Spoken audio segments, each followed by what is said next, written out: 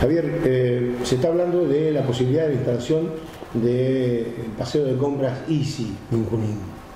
Sí, así es. Este, bueno, una, hay un expediente iniciado por la por la empresa este, solicitando una iniciativa privada para instalarse dentro del radio urbano de la ciudad, más específicamente en los talleres municipales. Eh, y bueno, se está analizando la, propuesta que tiene que ver con cuestiones urbanísticas, legales, económicas. Y desde el punto de vista del municipio, obviamente nosotros somos abiertos a, a todo ese tipo de inversiones porque tiene que ver de alguna manera con el progreso de la ciudad. Venimos durante mucho tiempo trabajando en la instalación de la ciudad en nuestro país, en generar una marca de la ciudad, en generar una ciudad atractiva.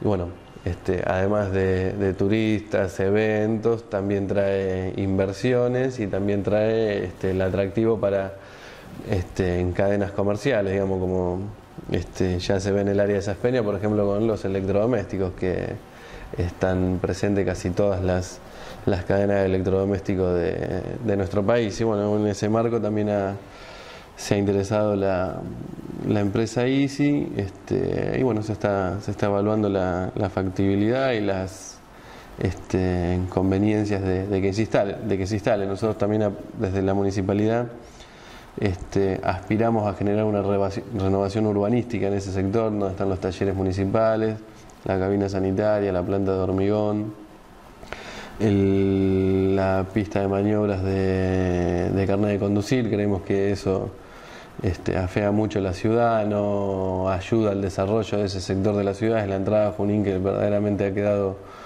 muy linda por este, intervenciones privadas y muy fea por la presencia de la municipalidad con esos inmuebles.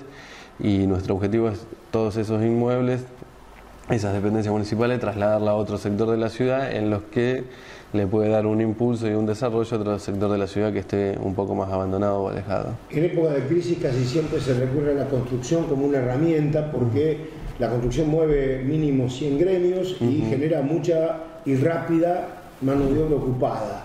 Eh, hay proyectos, había en danza, hay proyectos Sí, hay, hay, bueno, digamos, por suerte no se ha, no se ha parado, digamos, las obras que, que están en marcha de varios edificios grandes siguen siguen en, marcha en comparación con, otros, con otras ciudades. El otro día nos comentaba el intendente de Pergamino que este, se, le se han paralizado varias obras este, de edificios que, que se habían empezado a construir en la ciudad de Pergamino. Bueno, por suerte en Junín esto no, no está pasando y hay este, expedientes de inicio de construcción de dos o tres edificios más de importantes características en calle España, en calle Francia, en calle 25 de Mayo, así que bueno, este, esperemos que, que se siga apostando a la construcción y sobre todo creemos que no se va a parar porque hay circulante, hay ahorros de distintos sectores de la economía local este, que no se puede resguardar en dólares, este, que ha perdido confianza en el sector financiero o bancario y bueno, es un buen reaseguro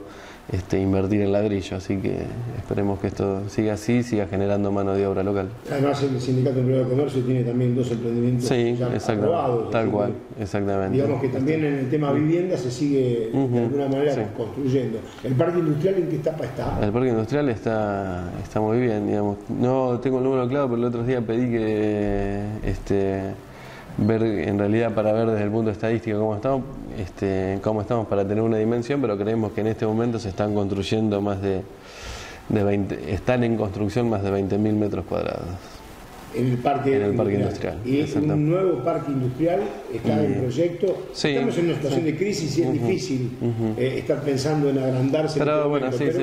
Sí, obviamente está pensado, está previsto, tenemos, estamos alquilando un campo con opción a compra, así que bueno, este no, no lo hemos dejado de lado, sigue siendo un proyecto prioritario para la municipalidad. ¿Y el proyecto del traslado de la terminal de ómnibus?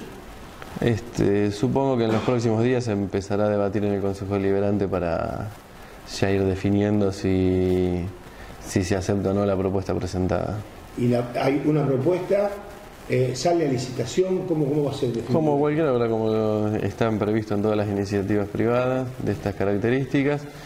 Este, hay alguien que quiere construir una nueva terminal y está el diseño de esa terminal, está el diseño de lo que se quiere construir y la forma con que se pretende pagar. Para eso se va a llamar a una, a una licitación pública este, y todos los que se quieran presentar se pueden presentar. ¿Y con ese o con otro proyecto?